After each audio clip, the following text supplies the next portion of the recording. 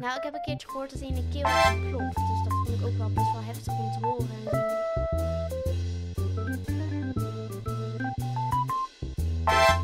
zo. X is next. Voor en door de next generation. Dus luister mee. We hebben wat te vertellen. Hallo allemaal, wat fijn dat jullie weer kijken of luisteren naar weer een nieuwe aflevering van de podcast Access Next. Ik ben hier samen met Noordin? En Melanie. En ik ben Lisa. Vandaag hebben we alweer een nieuwe aflevering over vapen. Wat vinden jullie eigenlijk van vapen? Want het is best wel nieuws. Ja, het wordt heel vaak gebruikt. En eh, in de omgeving is het ook heel druk. Ik heb er niet zoveel ervaring mee, maar je ziet het wel vaak. En jullie? Ja, ik zie het heel veel op straat onder de jongeren vooral, die het met elkaar doen en zo. En proberen stoer te zijn en gewoon. Maar het, het is niet stoer, want het is gewoon nog steeds heel slecht voor je. Ja, en op TikTok zie je ook allemaal filmpjes dat ze allemaal die lucht naar elkaar uitblazen en zo. Oké, maar dan heb ik wel een vraag. Als het zo beroemd is, kom je er ook makkelijk aan? Wat denken jullie? Nou, ik denk het eigenlijk wel dat je het ook gewoon al bij snoepwinkels kan krijgen en zo.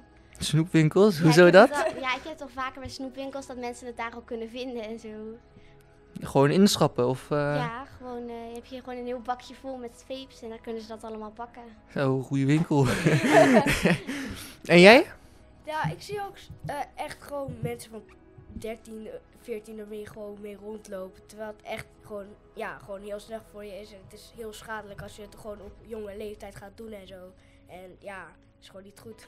En op basisschool hoorde ik ook al kinderen die heel stoer gingen doen, dat hun al vapten en zo. En daar hoorde je ook heel veel roddels over. ja, ik weet niet. Het is een beetje genormaliseerd, weet je. Het is heel normaal geworden. Want volgens mij, vroeger met sigaretten waren... ging ook iedereen het doen, om ook zo te doen. Maar ja, ik weet niet. Ik denk dat het nu ook komt omdat... Het zijn allemaal zoete smaakjes, het is goedkoop. Je kan het zo van je broer of van je zus krijgen, snap je? Maar ja, ik, ik weet het niet echt. Wat zijn echt... eh, wat is het ergste dat je hebt gezien met vapen, zeg maar? Nou, ik heb een keertje gehoord dat hij in de keel werd ontploft. Dus dat vond ik ook wel best wel heftig om te horen en zo. Ja, volgens mij heel veel mensen halen het ook uit China, maar daarvoor wordt het ook nep gemaakt en dan is het heel schadelijk of het is heel slecht. Het is sowieso heel slecht, maar ja, weet je. Ik heb ook het gevoel dat mensen minder snel gaan denken dat het slecht voor je is, omdat er zo'n lekker smaakje aan zit. Ja, je hebt ook vape zonder nicotine. Maar er zitten nog steeds echt heel veel schadelijke stoffen in voor je longen en zo. En dan denken mensen ook gelijk, zeg maar, oh, is niet schadelijk omdat er geen nicotine in zit. Mhm. Volgens mij er werd aangeknoopt, zeg maar, vape is redelijk nieuw en niemand wist de consequenties van, want het was net op de markt.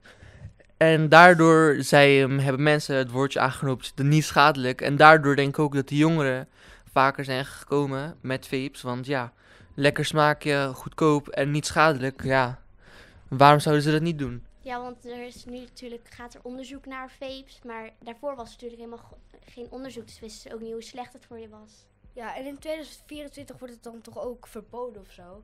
Of Ja, dat je het niet ook meer kan zoiets van krijgen. Ja. Volgens mij mogen ze hun hele lading, wat ze nog hebben, verkopen. En eh, de rest niet. Maar daar wordt nog heel veel over gediscussieerd. Dus het is nog niet helemaal vast. Maar ik denk dat het wel gaat gebeuren. Ja. Ja. En eh, zouden jullie later snel gaan vapen? nou, ik weet niet echt. Denk het niet. Ik denk dat het meer gewoon een hype is. Hetzelfde met eh, ja, heel veel dingen. Ik weet niet, challenges waren ook op TikTok. Nu is het vapen, alles. Het is zeg maar een golf, een golfje. Ja, heel veel gaat mee en uiteindelijk stopt het. Dan zijn ze weer naar de volgende. Ik denk Ja, dat het over het jaar al weg is eigenlijk. Het is ook zeg maar, het is in welke vriendengroep je komt. Misschien doen hun het wel en dan zeggen ze, ah, probeer het even. En dan als je het niet doet, kom je als, ja, gewoon echt een slapperling over als je het niet doet of zo. Ja, want vaak gaan mensen ook beginnen doordat de groepsdruk, want iedereen doet het, dus dan wil jij erbij horen, dus dan doe jij het ook. Ja, ik denk dat het komt echt. Want het is zo normaal geworden. Je komt er makkelijk aan. De meeste ouders vinden het niet erg. Sommigen wel weer, maar het is verschillend. Maar ja, mensen weten er gewoon de consequenties niet van. Nee, het is ook niet zo super duur, dus iemand kan het gewoon van zijn zakgeld kopen. Ja. Volgens mij bij sommige winkels, en, eh, soms moet je wel je ID laten zien, maar sommige die maken het helemaal niet uit. Die verkopen het gewoon, die denken geld is geld. Ja. Nog andere dingen? Nou, vape is dus ook echt een hype.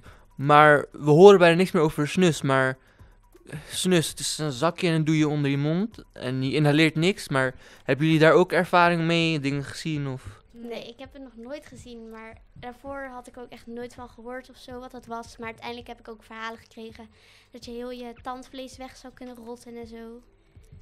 Dus dat vond ik best wel heftig. Ja, ik heb er ook persoonlijk niks van gehoord hiervoor nog. En ik wist ook niet wat het was eerst. Maar ja, ja. En volgens mij is dus zeg maar weer een vervanger van roken. Dus een beetje hetzelfde doel als vapen. Alleen de hoeveelheid nicotine is veel meer. En ja, het is gewoon super schadelijk. Je hele tandvlees brandt weg. Maar ja, weet je, het is ook... eh, volgens mij, je ziet het heel vaak op de grond liggen. Het is ook weer makkelijk te verkrijgen onder de jongeren.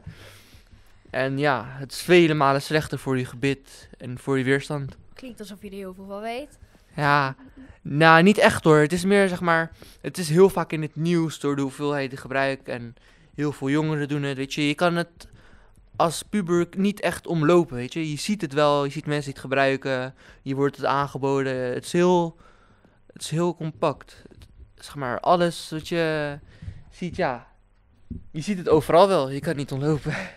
Nee, ik heb ook wel eens van challenge gehoord dat jongeren dan bijvoorbeeld er vier in moesten doen en zo. Ja, dat eh, klopt volgens mij wel. Maar dat moet je echt niet doen. Want volgens mij de verwachting staat ook niet meer dan één. Maar sommige jongeren die maken er weddenschap van. Of vinden het een uitdaging. Ja, dan gaat het fout. En dan kan je in het ziekenhuis belanden helaas. Ja, of een ongeluk veroorzaken. Of ja, Gewoon erger. Oh, nee, mag gekker van En hebben jullie het een keertje met jullie vriendengroep gedaan of zo?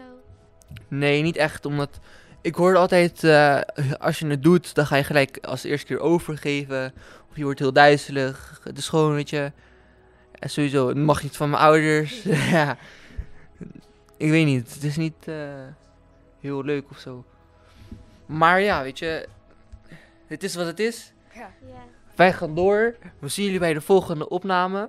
Vergeet ons niet te volgen op de socials. Veel plezier met kijken naar de volgende en luisteren op Spotify. Vergeet ons daar ons natuurlijk ook niet te volgen. En dan eh, tot de volgende keer. Doei!